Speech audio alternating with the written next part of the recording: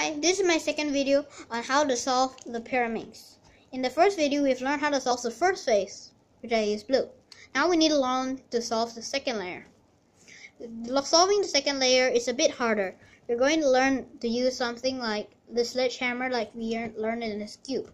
So we can do this. R prime, L, um, R, L prime. But you'll see that mixed up this. So we need to push it in again like I taught you in the previous video. So now you can see this is correct, but the other two are not. So you do it here. So you do it here. You do the same move right there. And these will be mixed up. And then now it's mixed up.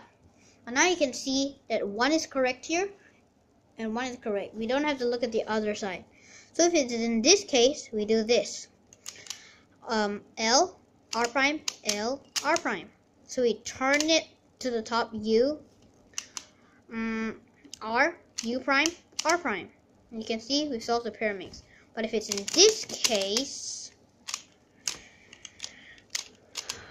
if it's in this case, we always, if it's in either case, the important thing to remember is that you have to do this algorithm on the second phase. In this case, there's one and two. So if it's like this corner is correct here and this corner is correct, you have to do it on the second one that is correct. So you do the same algorithm, um, but opposite. So it's R prime, L, R, L prime, U prime, L prime, U, L. That's how you solve the pyramid. Remember, if these, if they are all mixed up, you have to do it twice to get it correct to those faces.